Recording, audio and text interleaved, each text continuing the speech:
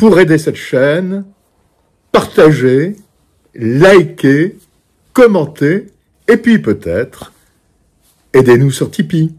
Sur le, fait de déployer des troupes, ce qui n'est absolument pas en, projet, hein, mm-hmm. faut-il encore le rappeler? Oui, oui, oui, mais euh, qu'il balaye ça d'un revers de la main, c'est normal, c'est la moindre des choses. Non, je trouve pas qu'il ait beaucoup insisté, moi. Je trouve qu'il aurait pu être plus cinglant. Et après tout, il ne fait que répéter ce qu'on entend sur tous les plateaux depuis euh, que le président Macron a, eu cette idée, a pris cette initiative, sur tous les plateaux en France, mais aussi hein, en Europe. Personne ne pense que on puisse vaincre, que, que l'armée française puisse vaincre, si on L'armée russe. Engageait ce que personne n'imagine.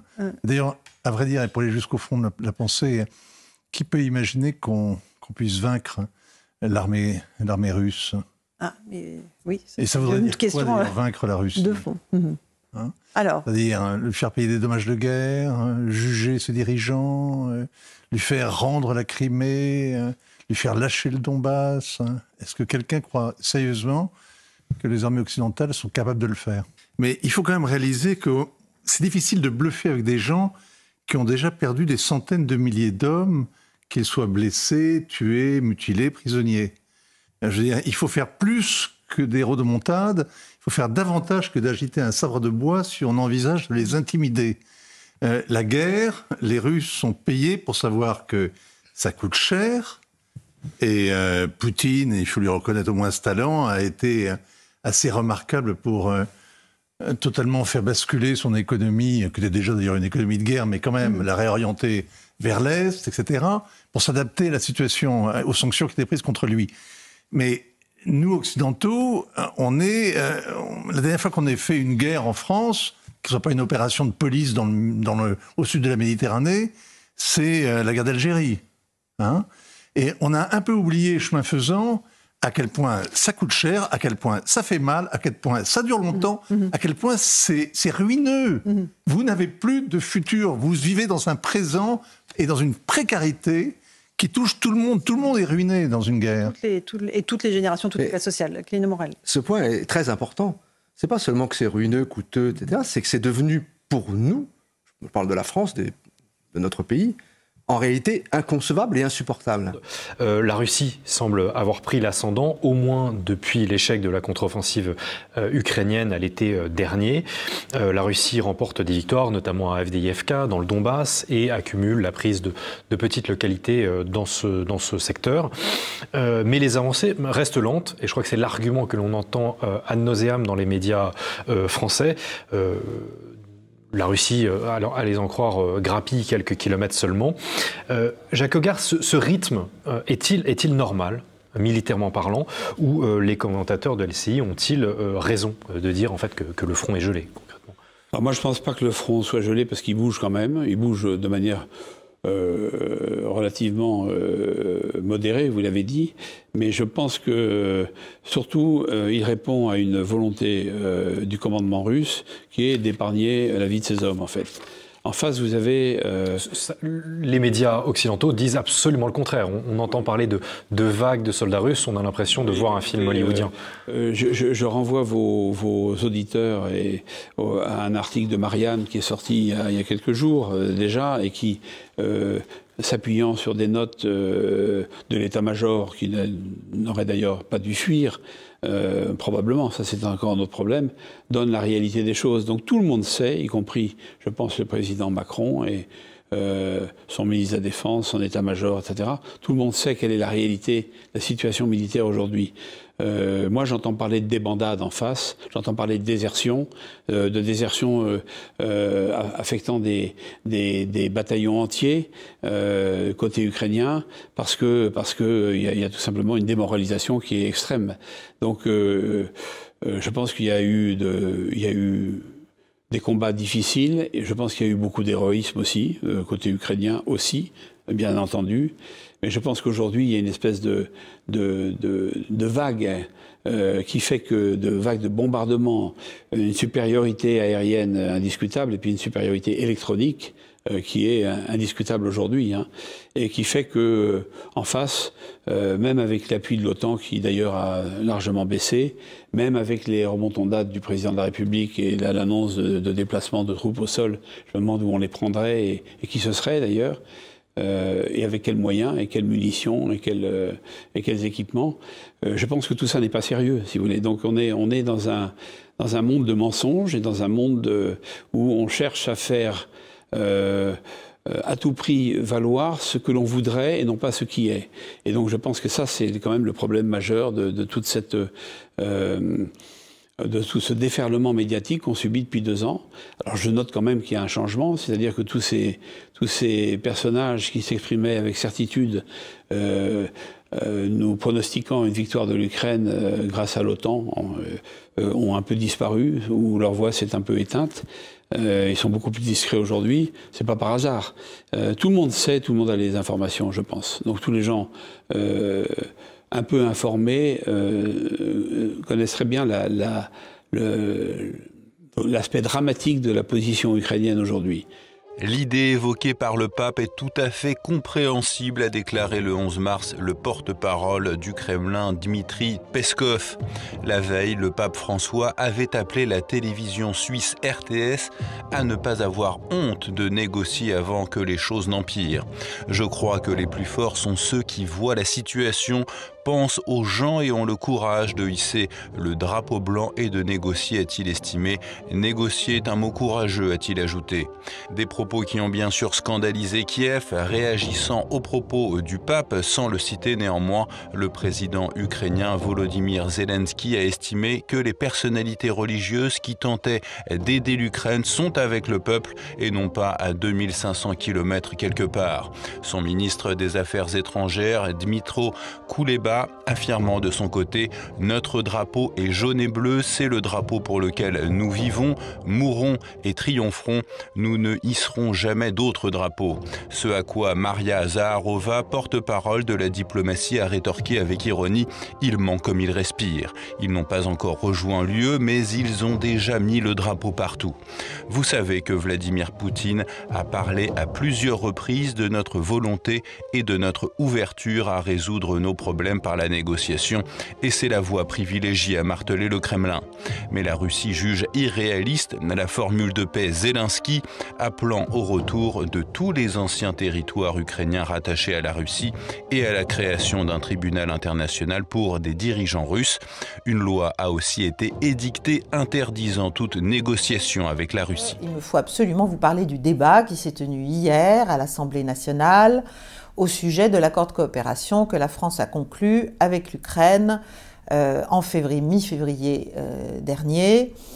Euh, accord de coopération très large, hein, tous azimuts, multisectoriel, qui plonge la France, à mon avis, dans la perspective d'une véritable alliance sur dix ans, alliance coûteuse par ailleurs, avec ce pays en guerre, avec des incidences militaires considérables, euh, mais aussi des aspects de cet accord euh, qui sont quand même des formes de provocation sans équivoque vis-à-vis de la Russie, notamment la perspective d'aider l'Ukraine à, pouvoir profiter des avoirs russes en France, euh, mais aussi le soutien appuyé à sa candidature dans l'OTAN et dans l'UE.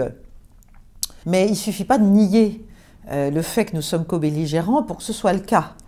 Et malheureusement, avec tout ce qu'on fait, ça devient de plus en plus le cas. Nos autorités l'ont placé euh, sur le fondement de l'article 50-1 de notre Constitution, c'est-à-dire qu'en fait, euh, c'est un simple débat, que le vote n'est pas contraignant, que la responsabilité du gouvernement n'est pas engagée, euh, alors qu'il eût fallu le placer sous l'article 53 euh, qui, lui, euh, était beaucoup plus contraignant, demandait une véritable ratification, puisqu'il y a des engagements financiers associés à cet accord. Néanmoins, le débat s'est tenu sous l'œil vigilant de l'ambassadeur d'Ukraine, ce qui est quand même très particulier, le contexte, bon, ben, vous le connaissez, c'est l'escalade euh, verbale euh, de nos autorités, euh, que ce soit notre président, que ce soit le Premier ministre, que ce soit le ministre de l'Armée, que ce soit le ministre des Affaires étrangères, qui chacun, dans leur dans leur genre, enfin chacun sur leur registre, explique qu'en gros, il n'y a plus de ligne rouge, il n'y a plus de limite au soutien de la France à l'Ukraine, que rien ne doit être exclu. Alors évidemment, devant les réactions, on s'est empressé de dire que non, il ne s'agissait pas d'envoyer des troupes au sol, euh, bien sûr, euh, mais qu'il s'agissait de poser, de faire réfléchir Vladimir Poutine, n'est-ce pas, et euh, d'introduire une sorte d'ambiguïté stratégique. pour moi, l'ambiguïté stratégique, c'est ce qui la permet véritablement, c'est soit le silence, soit le flou, soit la rareté de la parole. Euh, d'autorité, et, c'est exactement l'inverse de ce qu'on a fait. Il y a un florilège de déclarations. Euh, je pense qu'on est justement sorti de l'ambiguïté stratégique.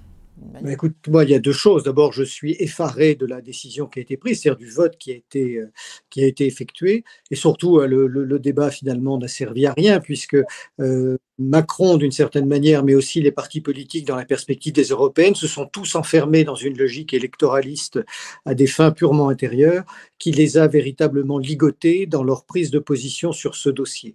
Alors, le Front National s'est abstenu. le Rassemblement National. Oui, Rassemblement national, euh, certaines. Il m'arrive de dire URSS aussi au lieu de, de, Russie. Mais euh, le, Rassemblement national s'est abstenu.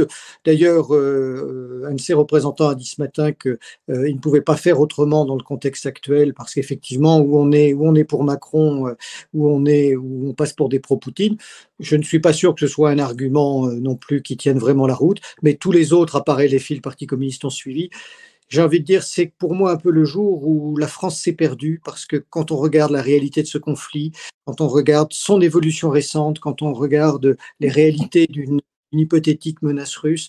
Nous sommes entrés dans un, dans un système et dans un monde totalement ubuesque qui est dans un déni de réalité totale. Euh, alors, je, passe sur euh, l'argumentaire développé par, euh, par Attal hier soir. Et c'est grotesque quand Gabriel Attal dit si la Russie gagne, le pouvoir d'achat des Français va souffrir. C'est merveilleux. Ça doit être gardé dans les, dans les archives. D'abord parce que ça n'a aucune validité, il n'y a aucun argument. Mais je ne vois pas en quoi, inversement, l'aide promise à l'Ukraine, euh, déjà plus d'un milliard cette donnée, 3 milliards promis cette année, plus de 10 milliards promis sur les années qui viennent. D'où va sortir cet argent? Comment ça ne va pas impacter davantage euh, cela aussi le, pouvoir d'achat des Français? Euh, à une époque où on nous demande d'énormes économies à juste titre, vu la manière dont Macron, comme ses prédécesseurs, ont creusé la dette française. Donc tout ça n'a ni queue ni tête. C'est vraiment d'une, je dirais, d'une stupidité terrible. C'est une insulte pour pour l'ensemble du peuple français, mais voir l'ensemble des députés se prêter à ce jeu-là, quelle que soit euh, leur couleur politique, tous ne l'ont pas fait, c'est encore beaucoup plus, beaucoup plus inquiétant. Euh, quand on analyse la menace russe, euh, je, crois qu'il faut, être très lucide et, je n'ai pas entendu dans les arguments des, parlementaires opposés à, cet accord le, le, moindre argument à cette nature quel pourcentage du territoire ukrainien les Russes ont-ils occupé en deux ans euh, et pour quelles raisons euh, euh, De combien de kilomètres ont-ils progressé au-delà de leurs frontières? Tout ça, c'est quelques centaines de kilomètres, quelques, quelques 20% du territoire russe. En quoi tout cela représente une, une menace pour nous? Je n'entre même pas dans les détails du fait qui a provoqué qui dans cette guerre tout à fait fratricide et, et déplorable, mais nous sommes entrés dans une comédie, je crois, absolument sidérante, où nos nos, politiques vivent dans un monde totalement euh, parallèle. Depuis deux ans, on nous dit que l'Ukraine, euh, ou l'État ukrainien d'aujourd'hui, euh, va gagner cette guerre. Et c'est une mobilisation extraordinaire de, d'experts étoilés ou galonnés sur les plateaux de télévision ou dans les médias français pour nous expliquer tout ça. Euh, ça me faisait euh, bondir parce que c'était mépriser, ignorer les réalités fondamentales euh, du rapport de force qui était en train de s'installer. D'un côté, vous aviez la Russie, 148 millions d'habitants, une dizaine de fuseaux horaires, une profondeur stratégique colossale par rapport à la petite Ukraine. 30, 30 millions d'habitants aujourd'hui peut-être, alors qu'elle en avait 51 au moment de l'indépendance en 1991.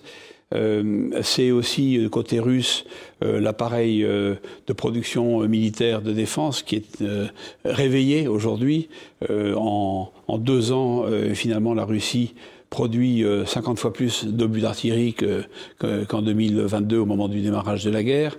on pourrait parler des, engins blindés, des chars, des, engins blindés d'infanterie, etc. Tout, est à l'avenant.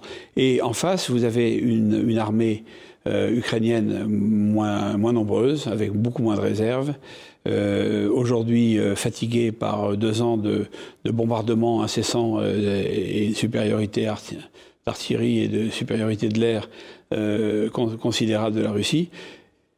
Et l'OTAN derrière, qui est pour moi ce que j'ai dit l'autre jour sur un autre plateau de télévision, un tigre en papier, c'est-à-dire une coalition d'États euh, qui donne du poil à gratter évidemment euh, aux Russes et au président Poutine, euh, et, qui, et qui est dénoncé, dont, la montée vers l'Est est dénoncée depuis au moins peut-être dix ans d'ailleurs déjà maintenant. Hein. Mais surtout l'OTAN, moi je vois ce qu'on a déversé comme argent en Ukraine aujourd'hui, et comme matériel disparate qu'on ne, peut, qu'on ne peut entretenir, qu'on ne peut maintenir, etc., parce qu'il n'y a pas les spécialistes voulus, il n'y a pas les pièces voulues, etc crée un déséquilibre euh, phénoménal. Et je dis que oui, aujourd'hui, la Russie est en train de gagner militairement la guerre. Ça, c'est à mon avis indiscutable, militairement. Alors, bien entendu, derrière, il y a... Euh, et, il faut en finir, je dirais. C'est l'appel au pape l'appel du pape, pardon, euh, il y a quelques jours, en disant qu'il était temps que l'Ukraine brandisse le drapeau blanc. à quoi elle a répondu, évidemment, dans sa logique à elle, mais mais je le souhaite de tout mon cœur parce que je pense que euh, cette guerre euh, est, une, euh, est une hécatombe pour la jeunesse ukrainienne en particulier. il est temps que ça s'arrête et il est temps que les négociations reprennent. Ces négociations qui n'auraient jamais dû être torpillées comme elles l'ont été par, par les puissances anglo-saxonnes et notamment par le Premier ministre Boris Johnson en mars 2022 alors qu'elles étaient sur le point d'aboutir après les rencontres d'Istanbul. Aujourd'hui, euh, les partisans de l'OTAN font valoir euh, que Poutine est intervenu en Ukraine pour empêcher l'extension de l'Alliance Atlantique à ses portes. Mais depuis, euh, l'OTAN s'est élargie avec les entrées de la Finlande et de la Suède à la suite donc de ce conflit ukrainien. N'est-ce pas là, cet élargissement, bah, un échec de Moscou? Alors moi, je, que nous voir sur, sur la carte. On peut le prendre comme ça euh, au premier degré, mais je ne pense pas du tout en réalité, parce que euh, c'est impliquer deux États euh, jusqu'à présent considérés comme neutres dans, dans, une, dans un affrontement, si cet affrontement a lieu, qui ne tournera pas à leur avantage. Et donc, je pense qu'au contraire, c'est une manière pour l'OTAN de montrer des muscles euh, cette adhésion de ces deux pays, mais de montrer des muscles qui, encore une fois, correspondent à des, à des muscles en papier, si je puis dire. Donc euh, je pense qu'en réalité, euh, c'est un très mauvais calcul de l'OTAN, cette pression. Elle est dénoncée depuis, je vous dis, 2014-2017. Je me souviens de cette phrase de Poutine disant Ce n'est pas nous qui allons vers l'OTAN, c'est l'OTAN qui monte vers nous. Et euh, je retiens aussi cette phrase de l'ambassadeur Jean de Guignasti il y, a, quelques mois, ou un an peut-être maintenant, disant euh, clairement euh, Je ne sais pas si l'Ukraine est dans l'OTAN, mais l'OTAN est dans l'Ukraine. Et tout ça, pour moi, ce sont des ferments de guerre. quand vous touchez à des intérêts stratégiques d'un pays, la Russie ou un autre, eh bien, vous, vous l'amenez à un moment donné à une position de, défense dans laquelle elle s'est mise euh, le, 24 février 2022. Mais je le rappelle parce que c'est trop souvent ignoré aussi euh, de, l'opinion en général. Une semaine après que euh, les forces armées ukrainiennes, appuyées par leurs milices nationalistes, aient lancé une offensive sur le, sur le Donbass. Donc on oublie tout ça, mais c'est la réalité, ce sont les faits. Et je crois que c'est très important à savoir pour euh, avoir une, analyse équilibrée de, cette guerre, de cette tragédie. Alors que faire de la, sécurité des, pays euh, d'Europe de l'Est qui réclament donc l'Alliance Atlantique? Euh, Doit-on les abandonner? Je, dirais que, le, si vous voulez, on a mis euh, tous ces pays dans un, une espèce de, de, corner où ils n'ont pas tellement le choix aujourd'hui. Soit euh, ils apparaissent comme des, des... Regardez le cas de, de, la, de la Hongrie, par exemple, ou le cas de la Slovaquie récemment, euh, qui choisissent de ne pas s'impliquer dans cette alliance que j'estime moi être contre nature, parce que et regardez les ennuis que ça leur fait. Donc les autres pays peuvent, peuvent avoir des positions un petit peu intermédiaires et, et, prudentes, mais en réalité, tout le monde oublie que euh, depuis longtemps, le pacte de Varsovie a été dissous, d'ailleurs ces pays en faisaient partie. Euh, tout le monde oublie que euh, l'OTAN est passé d'une posture strictement défensive qui est conforme à ses statuts, c'est l'Alliance Atlantique, elle est passée dans une posture d'agence de sécurité worldwide, je dirais, agissant dans le monde entier, et en particulier contre nos ennemis historiques. Alors, euh, je pense que l'OTAN n'a pas digéré en fait la, fin de l'Union soviétique et la naissance de la Fédération de Russie. Euh, pour moi, ces, deux États n'ont pas grand-chose à voir, si ce n'est bien sûr la, subsistance de, de, certains réflexes et de, certaines pratiques anciennes euh, héritées du monde soviétique. Mais très franchement, je pense que euh, on aurait euh, eu, été mieux inspiré, je dirais, de rechercher euh, à répondre à la main tendue des Russes dès la fin de l'Union soviétique, lorsqu'ils souhaitaient rejoindre la maison commune européenne, lorsqu'ils souhaitaient même rejoindre l'OTAN, puisque cette demande a été faite par Poutine à Clinton, qui n'a pas dit non d'ailleurs, qui n'a pas dit oui, mais qui n'a pas dit non, avant d'en être découragé par son administration. Et finalement, eh bien, on a laissé monter euh, l'insatisfaction, la colère. C'est ce que le pape a dit, euh, à force de grogner les, aboiements de l'OTAN aux portes de la Russie, on finit par produire cette situation dramatique. Voilà. Moi, je crois que la partition, elle est, elle est de fait réalisée aujourd'hui, c'est-à-dire qu'en fait, la partie russophone du pays, grosso modo, parce qu'il y, a quand même un certain nombre de, points euh, de points, euh, je dirais, litigieux à régler, comme Odessa par exemple, hein, qui n'est pas neutre, qui est un, sacré, un sacré problème à régler. Je pense que la partie russophone du pays euh, est, de facto aujourd'hui sous le contrôle russe. Bon. Et, la partie occidentale va continuer à vivre sa vie avec. alors le problème de ce pays, c'est qu'à mon avis, c'est un État, c'est un pays, mais ce n'est pas un État-nation. Il euh, n'y a, pas de nation ukrainienne. Je, pense qu'il faut relire les, ouvrages euh, de nos anciens, comme Benoît Méchin ou autres, pour pouvoir le dire, mais euh, on le voit tous les jours. En fait, c'est 50-50, si je puis dire. les élections ukrainiennes présidentielles des, des, 20 dernières années ont montré à quel point le pays était coupé en deux. Donc, moi, je pense qu'il va naître une nouvelle, un nouvel État ukrainien, qui sera un État donc formé à partir des terres occidentales de, de ce pays. Euh, alors ça pose des tas de problèmes, y compris économiques bien sûr. Hein. Le Donbass, les terres arabes, les terres arabes qui ont été euh, euh, spoliées et vendues à des consortiums américains aujourd'hui pour plus de 50%. tout ça va, va, devoir être évidemment sur la table. Ça veut dire des négociations compliquées, c'est certain. Mais moi je pense qu'elles vont arriver parce qu'à un moment donné, le, la puissance qui est derrière l'OTAN, qui est les États-Unis d'Amérique, commence à dire ça suffit. Donc quand euh, les Américains disent ça suffit. Euh, les pouvoirs qu'ils ont mis euh, en place, qu'ils ont soutenus dans des crises, dans des guerres, ne pèsent pas grand, ne pèsent pas grand chose. Et moi, je serais à la place du président Zelensky, je serais inquiet pour mon sort personnel et pour ceux de, des ministres de mon gouvernement et de mon administration. les Américains ont montré maintes fois qu'ils savaient parfaitement abandonner, quitte à les trahir, tous les gens qui leur avaient été fidèles. On dit qu'il y a un plan entre l'Angleterre, le Royaume-Uni et la France pour envoyer des troupes à la frontière biélorusse pour permettre à des troupes ukrainiennes d'être redéployées euh, sur le front. Euh, on, sent bien qu'il y a une espèce de pression des deux plus grandes officielles armées euh, dotées de l'arme nucléaire en Europe, c'est-à-dire l'armée britannique et l'armée française, pour aller au conflit. comment on, alors que les Américains sont plutôt debout sur le frein. Comment on explique cet extrémisme macroniste aujourd'hui? Alors, c'est effectivement un extrémisme macroniste. Je ne suis absolument pas sûr que les Britanniques suivent dans cette direction. D'abord parce que l'arme britannique ne peut quasiment pas être déclenchée sans le feu vert de, Washington.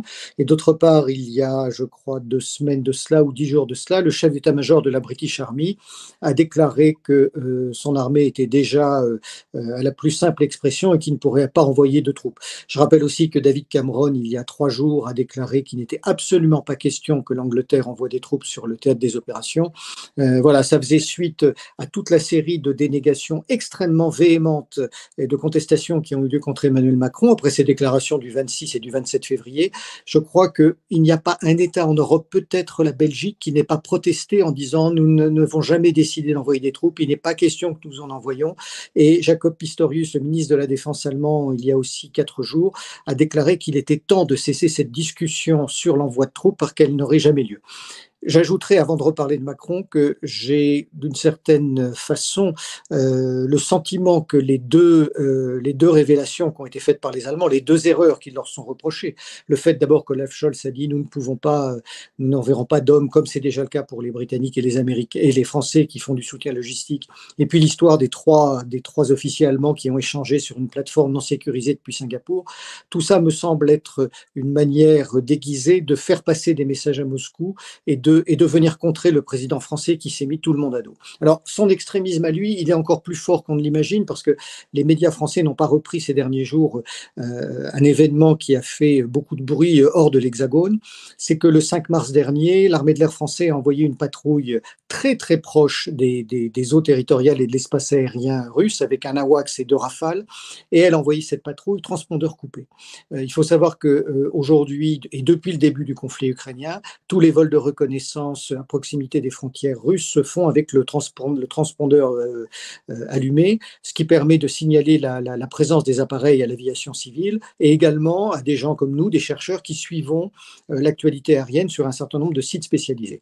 Ça ne permet pas, comment dire, les, radars militaires détectent les avions même s'il n'y a pas de transpondeur allumé, mais en tout cas c'est une, convention qui est passée, je dirais, c'est non dit, mais entre les acteurs pour avoir des mesures de déconfliction. Or, pour la première fois depuis le début du conflit, euh, nous, Français, avons envoyé cette patrouille aérienne euh, vraiment extrêmement proche de l'espace aérien russe, transpondeur coupé, ce qui, dans le contexte actuel, a été pris une nouvelle fois, et on voit mal comment il aurait pu en être différemment, comme une provocation par les Russes qui ont réagi assez vertement d'ailleurs.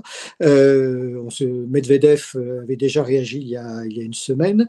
Euh, le patron du SVR, Narishkin également, avait traité le, président français comme étant de plus en plus incontrôlable. Mais le plus important, c'est pas ça, c'est qu'il y a eu des réactions excessivement violentes aux États-Unis, notamment sur les chaînes et de la part des commentateurs spécialistes du sujet. Pourquoi? Parce que cette provocation a eu lieu en plein Super Tuesday, alors que les Américains étaient vraiment concentrés sur les élections euh, euh, sur les primaires, euh, que depuis, on le sait maintenant, depuis plusieurs mois, ils sont dans une logique de sortie de ce conflit. plus, plus, plus aucune aide n'est votée, les républicains ne veulent pas en entendre parler.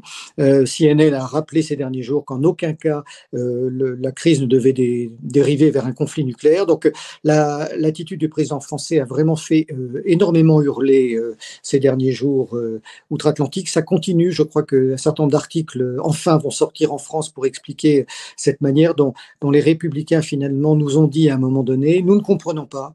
Euh, en 2003, vous vous êtes opposé à juste titre sur notre politique. Nous-mêmes, nous nous sommes fait avoir par, euh, le président Bush et son entourage. Et aujourd'hui, vous avez une attitude totalement contraire. Euh, c'est aussi ce que pensent beaucoup d'acteurs européens, les, Allemands en premier.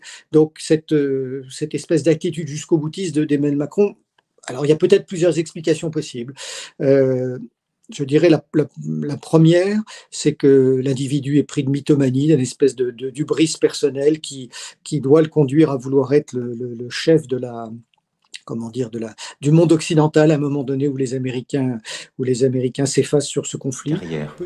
Et depuis que je suis rentré dans le, le champ politique, je vis ça comme une mission. Il y a une dimension de spiritualité. Il y en a une. Et en tout cas, la, conviction qu'il existe une transcendance, oui. Quelque chose qui dépasse. qui vous dépasse, qui vous a précédé et qui restera les néoconservateurs qui eux-mêmes, euh, sentant le, je dirais, le dossier leur échapper et l'arrivée de Trump se, se préciser, peut-être essaient de jouer de leur, comment dire, euh, une dernière fois leur partition. Le, la seconde explication, à mon sens, c'est que euh, Emmanuel Macron l'utilise beaucoup à des fins de politique intérieure. Il sait qu'il lui reste trois ans pour terminer, euh, à faire pour terminer son, son, mandat et que ça va être de plus en plus difficile et qu'une des seules façons, euh, peut-être, est de détourner l'attention et de continuer à faire marcher la planche à billets, c'est-à-dire de creuser la dette française, c'est de profiter de cette de cette hypothèse d'un durcissement du conflit euh, pour faire passer un certain nombre de choses en France, euh, notamment euh, cette loi sur la lutte contre les ingérences étrangères en matière de, de, de, communication. Donc tout ça est extrêmement préoccupant. Laquelle de ces deux raisons est la, la bonne, je ne sais pas. On a sûrement des éléments qui relèvent un petit peu des deux, mais en tout cas, on a de plus en plus le sentiment partout en Europe, aux États-Unis, d'avoir un président français incontrôlable. Mon sentiment, c'est qu'on joue avec le feu. Mon sentiment, c'est qu'il y a une espèce de, de désinvolture absolument euh, invraisemblable et angoissante euh, sur ce sujet. Enfin, on joue avec, on joue avec la guerre. Mhm. On n'en est pas encore à jouer à la guerre, mais ça pourrait bien venir. Ce sont pas des choses avec lesquelles on joue. Alors on joue, euh, on joue pour instrumentaliser, on, on, on joue par par aveuglement, par hubris, enfin, pour l'orgueil démesuré, mais on, on joue avec quelque chose qui est qui est terrible. Quand vous dites on joue, c'est le président Macron, soyons clairs. Oui, il n'y a pas que lui. Hein. Il m'arrive souvent d'être invité sur des plateaux de télévision. Je me rends compte euh, qu'il n'y a pas que lui. Il y a des gens d'habitude très intelligents. Euh, voilà, on joue, on joue dans l'hémicycle, on joue. Euh, hein, on joue à la télévision, à la radio, il y a, il y a quelque chose qui, chose qui va pas. On dirait qu'on traite d'un, enfin, d'un sujet, euh, d'un sujet anecdotique, d'un sujet mineur dont on, on peut s'emparer et faire ce, faire ce qu'on veut. Mais enfin, il y a des gens qui meurent tous les jours. C'est euh, la vie et la mort des peuples qui est en jeu. C'est en plus on joue sous fond de d'armes nucléaires. On joue, enfin, voilà, on n'a pas le droit de faire ça. L'OTAN regroupe les pays signataires du traité de l'Atlantique Nord. Ce traité a été signé le 4 avril 1949 par les États-Unis et le Canada en Amérique du Nord, et par la France, la Belgique, les Pays-Bas, le Luxembourg, le Danemark, la Norvège, l'Islande, le Royaume-Uni, l'Italie et le Portugal en Europe. C'est une alliance militaire sans armée propre, donc quand on parle de troupes de l'OTAN, on fait en fait référence aux armées de chaque membre de l'alliance, et son objectif à sa création, au tout début de la guerre froide, est la mise en place d'une opposition solide à l'Union soviétique et c'est surtout l'article 5 du traité qui va donner sa crédibilité à l'alliance. Je le cite. Les parties conviennent qu'une attaque armée contre l'une ou plusieurs d'entre elles survenant en Europe ou en Amérique du Nord sera considérée comme une attaque dirigée contre toutes les parties. Et en conséquence, elles conviennent que si une telle attaque se produit, chacune d'elles, dans l'exercice du droit de légitime défense individuelle ou collective reconnu par l'article 51 de la Charte des Nations Unies, assistera la partie ou les parties ainsi attaquées en prenant aussitôt, individuellement et d'accord avec les autres parties, telle action qu'elle jugera nécessaire, y compris l'emploi de la force armée, pour rétablir et assurer la sécurité dans la région de l'Atlantique Nord. Pendant une vingtaine d'années, elle va alors plutôt se projeter en dehors de ses frontières dans des opérations extérieures. Et c'est ainsi qu'elle mène sa première guerre dans les Balkans avec une campagne aérienne en Bosnie-Herzégovine en 1995 dans le contexte de l'éclatement de la Yougoslavie et des conflits armés qui ont suivi. Les Alliés mènent des bombardements aériens entre août et septembre 1995 avec plus de 3500 sorties effectuées.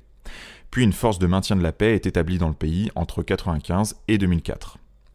Puis en 1999, c'est au Kosovo que l'OTAN intervient, également avec une campagne aérienne suivie de la mise en place d'une force de maintien de la paix, la CAFOR, toujours sur place aujourd'hui. Puis à partir des années 2000, l'OTAN commence à déplacer géographiquement ses zones d'intervention, puisqu'en 2001, elle intervient en Afghanistan. L'OTAN intervient en mer Rouge et dans l'océan Indien en 2009 pour lutter contre la piraterie, ou encore en Libye en 2011 où une zone d'exclusion aérienne est mise en place dans le cadre de la guerre civile libyenne. Au cours des années 2000 et 2010, elle a également effectué des missions d'appui et de formation, notamment en Irak et en Afghanistan. En parallèle, elle continue de s'élargir. En 1999, la République tchèque, la Hongrie et la Pologne la rejoignent, puis la Bulgarie, les trois pays baltes, la Roumanie, la Slovaquie et la Slovénie en 2004, et l'Albanie et la Croatie en 2009. L'alliance s'élargit donc largement à l'Est, et vous remarquerez que bon nombre de ces pays sont issus de l'URSS ou étaient dans le pacte de Varsovie, ce qui a pour conséquence d'inquiéter la Russie, héritière de l'URSS. Et on peut la comprendre, car de son point de vue, l'alliance se rapproche dangereusement de ses frontières. À deux jours de l'élection présidentielle russe, le président Vladimir Poutine s'est exprimé au sujet de l'influence accrue de la Russie en Afrique et des réactions qu'elle suscite auprès du président français Emmanuel Macron. Je pense qu'il y a une sorte de ressentiment. Mais lorsque nous avons entretenu des contacts directs avec le président français Emmanuel Macron, nous avons parlé assez ouvertement de ce sujet. Nous ne sommes pas allés en Afrique pour forcer la France à en sortir. Le problème est différent. Le célèbre groupe Wagner a d'abord réalisé un certain nombre de projets économiques en Syrie, puis s'est déplacé vers d'autres pays africains. Le ministère russe de la Défense a apporté son soutien, mais uniquement parce qu'il s'agit d'un groupe russe, rien de plus. Monsieur Poutine a affirmé que le principal problème du président Macron est la concurrence avec l'organisation paramilitaire russe Wagner. Il est probablement plus commode d'être offensé par quelqu'un sans voir ses propres problèmes. Peut-être qu'une réaction aussi aiguë et plutôt émotionnelle de la part du président français est également liée à ce qui se passe dans certains États africains. Bien que je connaisse d'autres pays africains où l'on menace la présence française calmement et où l'on dit que oui, tout nous convient, nous sommes prêts à travailler avec eux, dans d'autres pays, on ne le fait pas. Nous n'avons rien à voir avec cela. Nous n'incitons personne là-bas. Nous ne montons personne contre la France. Le président Vladimir Poutine a évoqué la liberté que possède tout État indépendant de renforcer ses relations avec des partenaires en provenance d'autres pays que l'Occident, notamment la Russie. Dans les rues de Moscou, les affiches électorales se sont multipliées ces dernières semaines. L'élection présidentielle se tiendra du 15 au 17 mars dans tout le pays, mais également dans les territoires ukrainiens annexés par la Russie. Au total, plus de 112 millions d'électeurs sont appelés aux urnes, et certains ne s'en cachent pas, ce week-end, ils iront voter pour Vladimir Poutine. За кого? Это мое личное дело. Нет, конечно же, за действующего президента. А почему? Ну, потому что кони на переправе не меняют. Процессы у нас идут глобальные, серьезные, и их надо завершать. Quatre candidats sont en lice pour ce scrutin qui s'annonce sans surprise. Trois d'entre eux sont des opposants contrôlés ou sans réel poids face à Vladimir Poutine qui vise un cinquième mandat. Le président russe n'a quasiment pas fait campagne, mais dans un discours à l'Assemblée fédérale, il a promis d'atteindre ses objectifs en Ukraine et de consacrer plus de fonds à l'éducation. Надеюсь, может быть, какая-то будет по образованию реформа. Очень хотелось бы, потому что, честно говоря, ужасная. Сравнивая с советским временем, в котором я родилась и училась. Ну, но больше такие какие-то житейские. Конечно, хотелось бы, чтобы э, могли ездить отдыхать. Loin de Moscou, dans certaines régions où les candidats ne se sont pas déplacés pour faire campagne, les habitants ne se sentent que peu concernés par cette élection. Я не собираюсь. Ну, как бы, мне кажется, уже все решено, в принципе, за нас. И идти по этим, как бы вы видите, дорога, у меня маленький ребенок, мне, в принципе, ее не с кем оставить, и я не пойду с ним. Avec cette élection, l'opposition russe, emprisonnée ou en exil, tente malgré tout de faire entendre sa voix. C'est que Jacques Chirac avait, je crois, et il me semble que c'était le dernier président à avoir cette connaissance-là de la Russie, avait une connaissance profonde de la Russie. Euh, bon, il, doit cette connaissance en réalité à Paris et à ses promenades au musée Guimet. Il m'a raconté cette histoire une fois. On était dans un avion. Alors malheureusement, le trajet était franco-français, donc euh, le trajet n'a pas duré très longtemps. J'aurais aimé qu'il dure beaucoup plus longtemps. Il m'a raconté la, la rencontre qu'il avait faite dans ses jeunes années. Il était euh, lycéen au musée Guimet d'un vieux monsieur russe blanc euh, il a sympathisé avec lui au point de la famille Chirac, Jacques Chirac était fils unique, a invité ce monsieur à habiter chez eux, dans leur chambre de bonne. Euh, il m'a raconté le voyage de ce monsieur en Corrèze. C'était vraiment un monsieur qui vivait avec la famille Chirac. Et ce vieux monsieur, qui est enterré au cimetière de Sainte-Geneviève-des-Bois, a appris euh, le russe au président Chirac. Et, non seulement le russe, mais évidemment, il lui a fait passer toute la culture de l'immense Russie, au-delà de la période... Euh, de la période soviétique, puisque c'est un homme qui avait connu la Russie d'avant. Et donc Jacques Chirac avait cette, cette profondeur du regard sur l'histoire russe. Je crois pouvoir dire que euh, il, a si bien compris la Russie euh, parce qu'il il avait une, il était profondément attaché au caractère multipolaire dans les relations internationales. Euh, et il comprenait dans la tradition de la famille gaulienne en réalité qu'une Russie amie de la France euh, était dans l'intérêt de la France. Et, qu'il ne fallait surtout pas humilier la Russie. La Russie, dans les années 90, euh, se relevait d'une période extrêmement difficile. Enfin, la chute de, la chute de l'URSS, ça a été vu de manière très positive par nos yeux d'occidentaux, mais les Russes ont connu, enfin, pour les Russes, c'était une période très difficile. Euh, au point que le mot même de démocratie a fait l'objet d'un jeu de mots terrible. Euh, on l'appelait la merdocratie, euh, en russe. C'est un jeu de mots qui fonctionne dans les deux sens. Et, pour traduire la, difficulté de vie des Russes dans cette période-là, on peut citer un seul, une seule donnée, un seul chiffre, c'est que l'espérance de vie des hommes était tombée à 58 ans. ça dit tout le reste. Donc cette Russie-là, il ne fallait pas l'humilier, il fallait lui tendre la main, au contraire, l'aider à se relever. Et ça s'est poursuivi avec le président Poutine. Avec le président Poutine, il y avait, je pense aussi, une, euh, amitié très forte qui s'est traduite, j'allais dire, par-delà la mort, puisque on se souvient tous que le président Poutine était venu à Saint-Sulpice pour l'enterrement du président Chirac. Euh, bon, je sais qu'ils se sont vus une fois que le président Chirac a quitté l'Élysée euh, dans un cadre strictement privé en Russie et en France. Euh, il y avait en plus, je crois, chez les deux hommes une amitié, euh, une amitié d'armes, une paramilitaire, si vous voulez, parce que Bon, euh, Poutine était un officier, le président Chirac a fait un bout de la guerre d'Algérie, il a connu enfant la, Deuxième Guerre mondiale, et donc il savait ce qu'était le prix d'une vie humaine, euh, ce que ses successeurs euh, ne savent peut-être pas aussi clairement que lui. Aux États-Unis, l'avenir de la plateforme TikTok est en jeu. Les députés de la Chambre des représentants ont voté à une large majorité une proposition de loi qui oblige le réseau social à couper ses liens avec sa maison mère, ByteDance, d'origine chinoise, dans un délai de 180 jours. Sinon, TikTok sera exclu des boutiques d'applications d'Apple de Google. La proposition de loi doit encore être approuvée par le Sénat et son issue reste incertaine.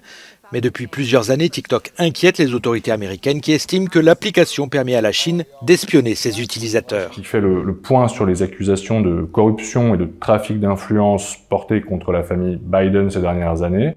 Alors pour commencer, est-ce que vous pouvez nous expliquer pourquoi vous avez décidé d'écrire ce livre? Fondamentalement parce que c'est potentiellement le plus grand scandale politique de l'histoire américaine et que personne n'en parle. Ou du moins ceux qui devraient en parler se refusent à le faire pour des raisons politiques.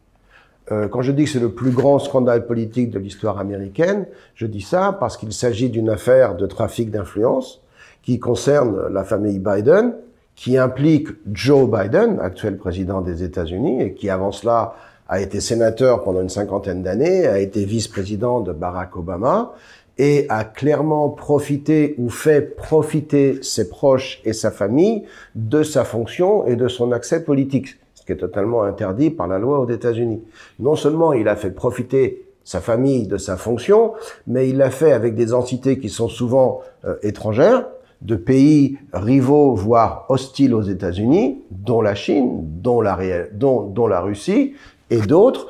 Euh, et donc, il, a mis en place un système qui, si l'on regarde de près, peut mettre en danger la sécurité nationale du pays et peut vous inviter à vous poser des questions sur jusqu'à quel point, par exemple, le président Biden pourrait lui-même être, comme on dit, compromis de par les liens qu'il a pu tisser avec ces entités étrangères. Donc c'est un scandale qui, pour moi, est énorme. Je rappelle qu'il y a une quarantaine d'années, euh, le président Richard Nixon a été contraint euh, de démissionner à cause euh, du cambriolage du Watergate. Le cambriolage du Watergate, c'était trois agents qui avaient pénétré dans les bureaux euh, du Parti démocrate dans l'hôtel du Washington, euh, du, du, du, dans l'hôtel du Watergate euh, à Washington pour dérober quelques documents juste avant une campagne présidentielle. Par rapport à ce dont je viens de parler, ce cambriolage, c'est peanuts, comme on dit en anglais. C'est de la blague, c'est rien du tout. Néanmoins, il y a eu toute une enquête qui a mis deux ans à mettre en place le fait que si Richard Nixon n'avait pas ordonné le cambriolage, quand il avait été informé du fait, il avait tout fait pour le cacher, pour faire un cover-up. Et c'est à cause de cette obstruction de justice qu'il avait été contraint de démissionner. Là, on a des faits qui sont beaucoup plus graves. On a quelques journaux qui ont enquêté sur ces faits, le New York Post notamment, la chaîne Fox News et quelques chaînes conservatrices aux États-Unis et d'autres journaux dont le Wall Street Journal. Mais la grande presse, je dirais, dominante, euh, qui est de sensibilité démocrate ou de gauche, se refuse toujours de parler de l'affaire. Et c'est pourquoi moi, à un moment, l'an passé, euh, à l'approche de la campagne présidentielle, j'ai quand même décidé de prendre tous les éléments qui étaient connus et qui sont connus, parce que ce sont des faits qui remontent parfois il y a une dizaine d'années euh, et qui ont été démontrés, soutenus avec un certain nombre de documentations pour les avérer. J'ai décidé de tout mettre en place et de raconter cette histoire que je trouve quand même énorme et dont personne ne parle, d'où d'où le titre Cover Up qui signifie euh, campagne de dissimulation en anglais.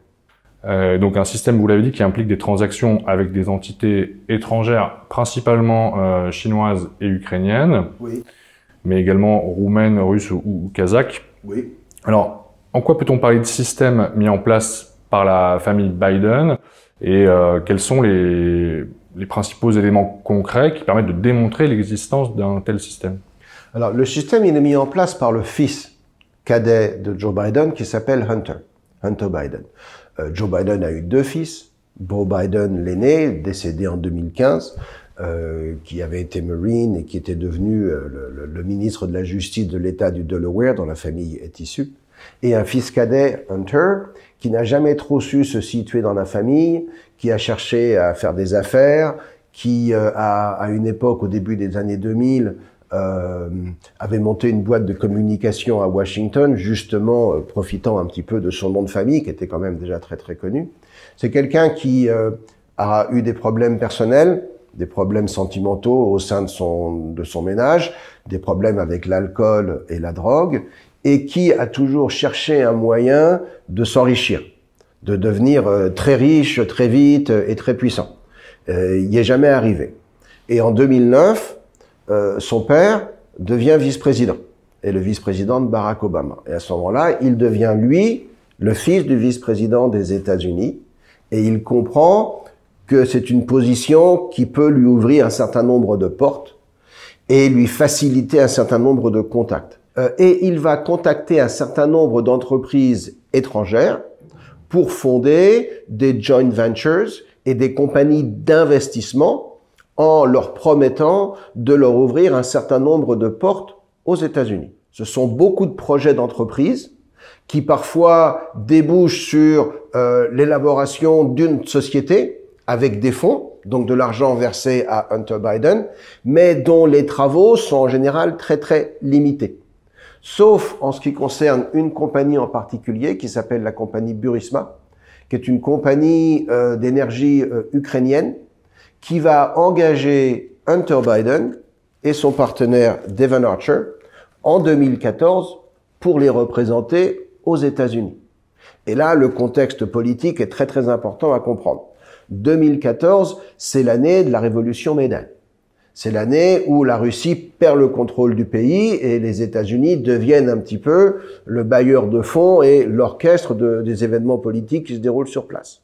C'est l'année où Poutine décide d'annexer la Crimée. Euh, c'est donc un moment politique assez tendu.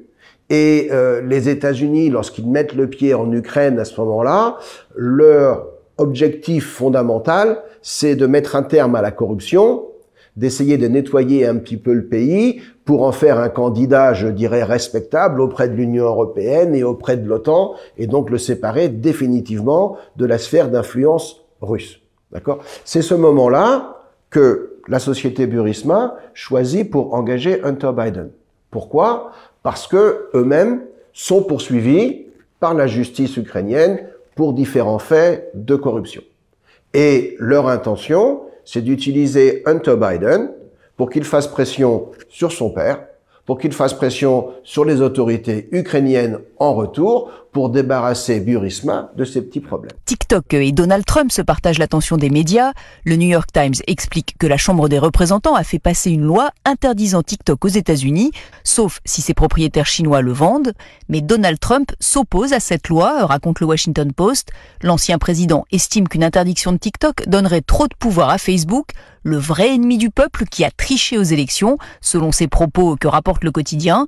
CNBC rappelle que le même Donald Trump, quand il était au pouvoir, avait pourtant tenté de faire interdire TikTok sans succès. ABC News dévoile que le revirement de Donald Trump pourrait être lié à sa rencontre avec un gros donateur potentiel du Parti républicain, qui aurait des intérêts financiers dans le réseau social.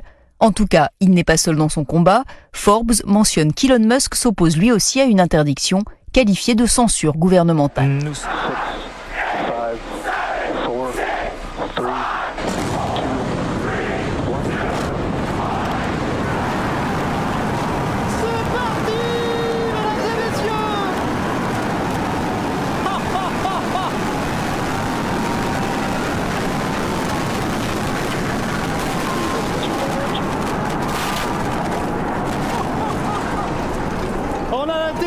l'instant du booster là, donc je vais rester ici.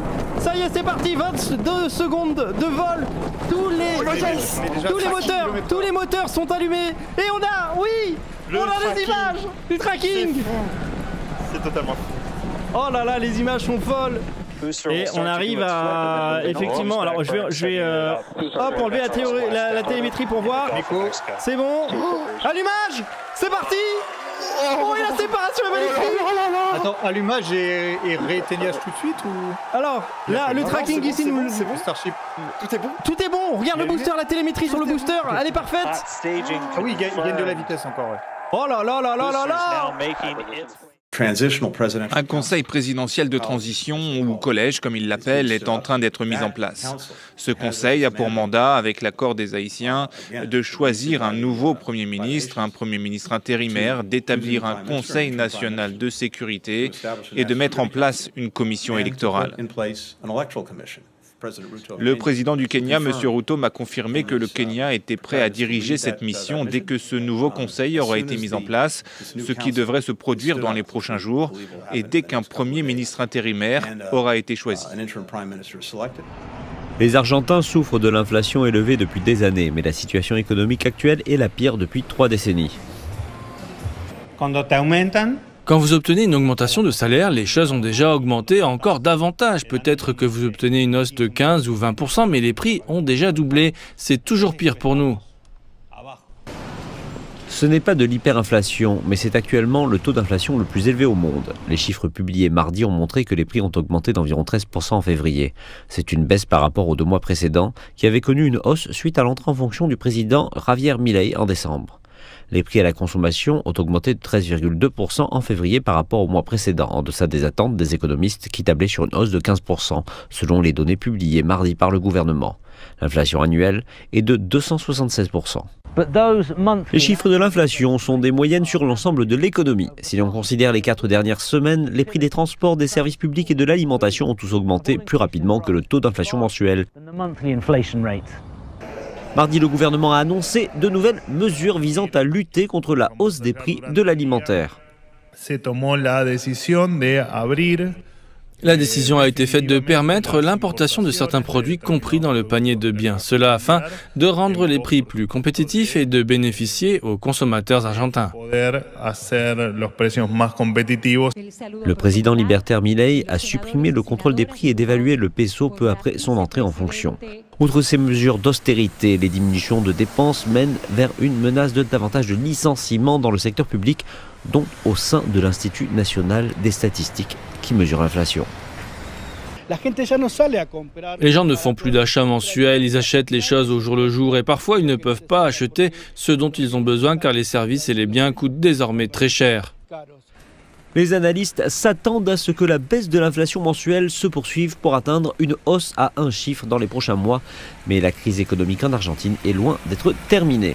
Les forces israéliennes ont à nouveau ouvert le feu sur des Palestiniens en attente d'aide alimentaire dans la ville de Gaza, tuant six personnes et en blessant au moins 83 autres.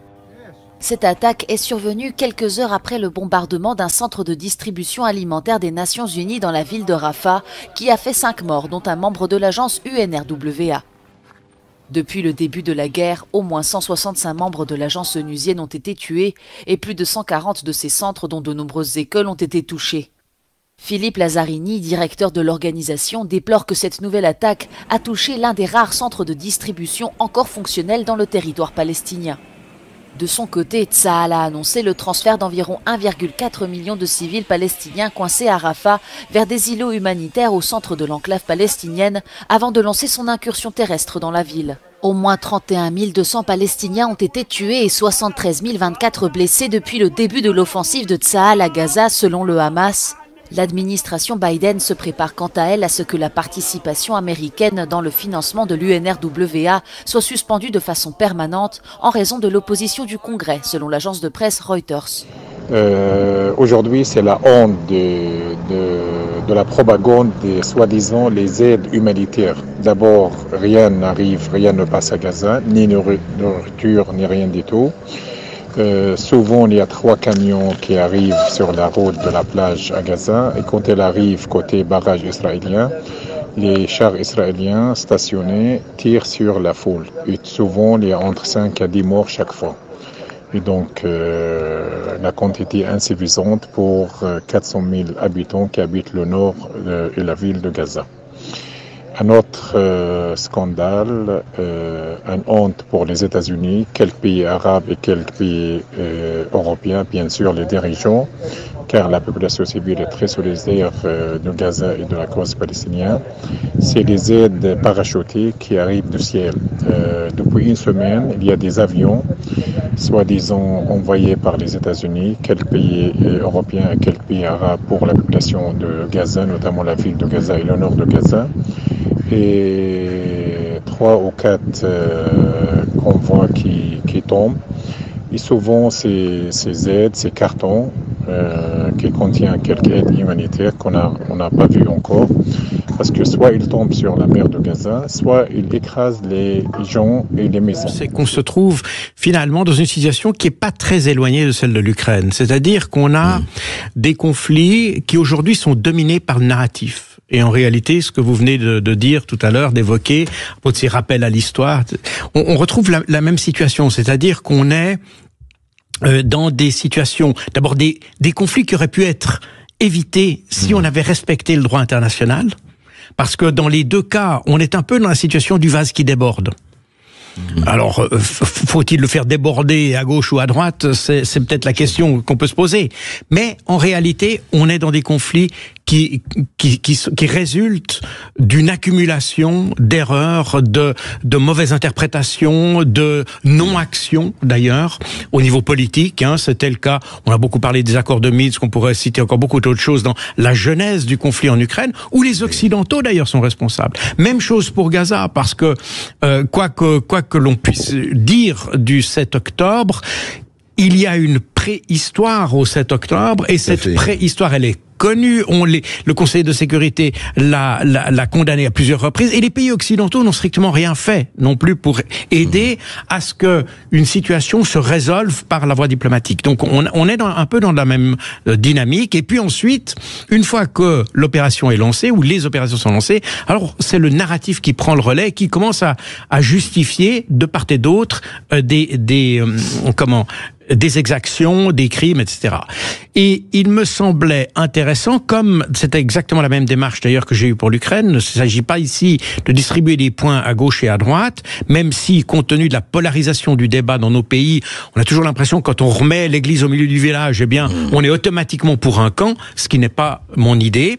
Mais euh, il était important de revenir sur un, un, un comment un narratif plus euh, apaisé qui rappelle aussi, parce que une chose qui m'a frappé, exactement d'ailleurs comme pour le conflit ukrainien, vous avez même la presse ukrainienne, je l'ai évoqué plusieurs reprises sur ce plateau, la presse ukrainienne disait des choses que même nos médias ne disent pas, n'est-ce pas?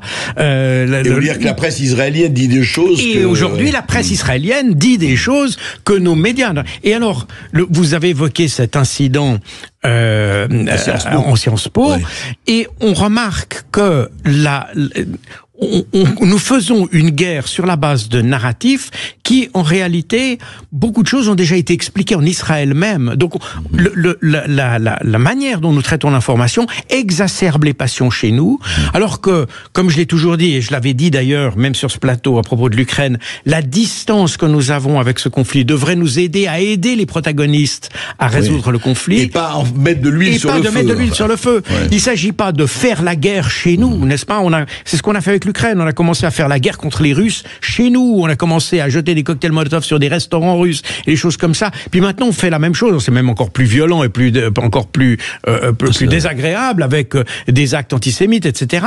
On, on, finalement, on, reproduit mm. la guerre et c'est exactement ce que vous disiez. Si vraiment on veut faire la guerre, allez la faire là-bas. Mais ici, on doit conserver un terrain propre à la discussion, au débat et essayer de calmer le jeu, calmer les esprits surtout. Ouais, Alors, euh, il faut il faut bien comprendre d'abord la, la genèse, puisque l'État d'Israël est apparu en, en, 48 après la résolution 180 de la résolution des, des Nations Unies, de, de l'Assemblée générale des Nations Unies, qui prévoyait que euh, l'État de Palestine qui préexistait, puisqu'il y avait mhm. un État de Palestine qui préexistait, hein, euh, dont Golda Meir disait même qu'elle était ressortissante. Oui.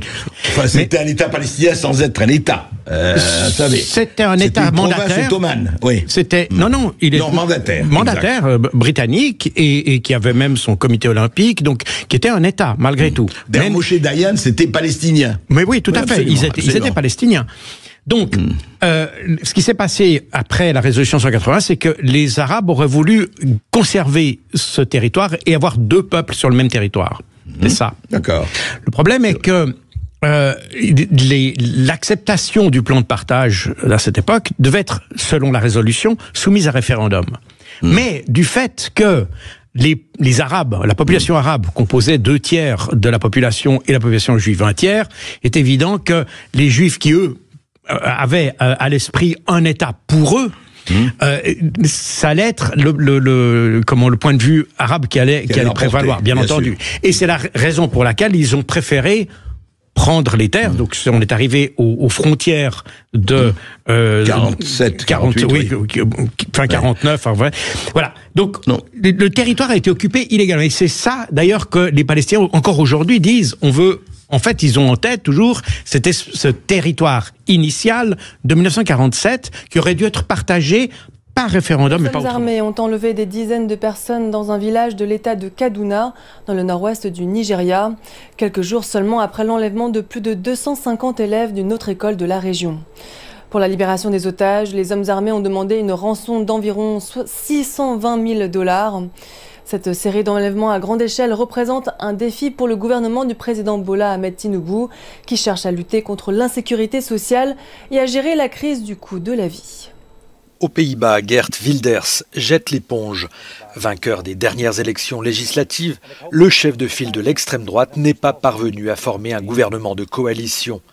Ce renoncement pourrait désormais ouvrir la voie à la constitution d'un gouvernement d'experts dont la composition doit encore être négociée par quatre partis, dont celui de Gert Wilders. Les négociations politiques ont achoppé en raison du désengagement du parti centriste inquiet pour les finances publiques du pays et par les projets controversés du leader d'extrême droite. Un service militaire allongé de 4 à 11 mois et qui sera désormais, c'est une première, également obligatoire pour les femmes. Voilà les principales annonces de la première ministre danoise ce mercredi. Le pays compte jusqu'à 9000 soldats professionnels et 4700 conscrits qui suivent une formation de base. Og så foreslår vi en fuld ligestilling mellem kønnene. Vi bryster os jo gerne af, at vi har et ligestillet Danmark, men det er eksempelvis kun danske mænd, der har pligt til at møde på forsvarets dag. Kvinder har mulighed for at melde sig selv og efterfølgende blive værnepligtige, men også her er der forskel i vilkårene. Og hvorfor egentlig det? Øh, vi er sådan set ikke i tvivl om, at Øget ligestilling vil skabe et mere moderne og et mere mangfoldigt forsvar, som afspejler den tid, vi lever i. Le pays va également augmenter ses dépenses militaires de plus de 5 milliards d'euros sur 5 ans. L'argent servira aussi à soutenir l'Ukraine, à qui le Danemark va envoyer la totalité de ses stocks de munitions. Monsieur le ministre, vous ne pouvez pas vous exonérer de votre responsabilité. Vous êtes aux affaires depuis sept ans. Et depuis sept ans, et depuis sept ans, le bilan est calamiteux. Plus de 700 milliards de dépenses, près de 900 milliards, pardon, de dépenses publiques supplémentaires. Le taux de prélèvement obligatoire le plus élevé en Europe. Pour les pays développés, le niveau de dépenses publiques le plus élevé. Mais monsieur le ministre, c'est Bruno Le Maire, ministre des Finances, à qui je parle, ou alors vous, considérez que vous êtes complètement exempt de toute responsabilité. Votre attitude est, de mon point de vue, irresponsable. Il y a 18 mois, c'était un budget à l'euro près, alors qu'il était en déficit. L'an dernier, vous nous avez proposé quelque part de discuter, mais jamais vous n'étiez autour de la table. Eh bien, nous avons besoin aujourd'hui que vous assumiez votre responsabilité, parce qu'elle est éminente vous vous êtes trompé. Vous aviez promis de la croissance pour réduire le chômage et notamment rétablir les finances publiques. C'est complètement à côté de la plaque. Eh bien, nous, moi, je vous pose aujourd'hui une question, Monsieur le Ministre, au regard de cette situation. Ne pensez-vous pas qu'il est temps que vous rendiez votre tablier? La réalité, c'est qu'Emmanuel Macron, c'est une coquille vide. Emmanuel Macron, c'est l'homme sans projet, parce que c'est l'homme sans conviction. Monsieur Bruno Le Maire ministre de l'économie. Je ne me reconnais pas dans ce qu'Emmanuel Macron incarne. Monsieur François Bayrou, ministre d'État, garde des Sceaux, ministre de la Justice. J'arrive mal à cerner la personnalité d'Emmanuel Macron. Je ne sais pas s'il a les épaules, s'il a la force, s'il a la densité, s'il a la cohérence nécessaire. Madame Marielle de Sarnez, ministre auprès du ministre de l'Europe et des Affaires étrangères. Monsieur Macron, en fait, finalement, euh, euh, c'est une crise d'adolescence qu'il fait vis-à-vis -vis de son euh, mentor François Hollande. Il est dans sa crise d'ado, il raconte absolument n'importe quoi en expliquant absolument pas comment il va les financer. Monsieur Gérald Darmanin, ministre de l'Action et des Comptes publics. Quand il s'exprime sur tout plein de choses, je, je dis c'est dommage qu'il n'ait pas été ministre de l'économie juste avant, parce qu'il aurait pu les faire. Ah, pardon, il était ministre de l'économie avant, il ne l'a pas fait. Le président de la République a nommé M. Édouard Philippe Premier ministre.